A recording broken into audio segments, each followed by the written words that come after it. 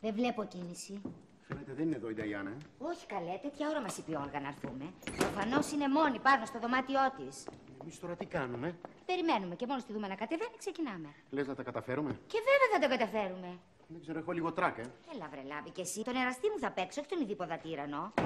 Σοπα άκουσα πόρτα. Λοιπόν, πάμε, ξεκινά. Α, δεν γίνεται, ντρέπω, μ' άρχισες εσύ. Έλα, κοίτα να πάρεις μαθήματα. Λάμπη, λάμπη, λάμπη. Αυτό που κάνουμε είναι παρανομία. Είναι ιεροσιλία. Είναι προστιχιά. Είσαι άντρας της αδερφής μου. Το ξέρω. Και εσείς αδερφή της γυναίκας μου. Είμαστε κουνιάδι. Κι όμως αγαπιόμαστε. Δυο κουνιάδι που αγαπιούνται. Μαρία, σε θέλω. Ε, με εγώ δεν σε θέλω, λες. Κάστε καλέ, σε θέλω και σε θέλω. Κάλε εδώ, είσαι ακόμα δεν έφυγες. Τώρα φεύγω πάω στην Η Πεπέκα. Νταϊάννα δεν είναι εδώ. Πάνω είναι, έρχεται, τώρα κατεβαίνει. Λοιπόν, πάω. Δεν μου λες, Όλγα; Ναι.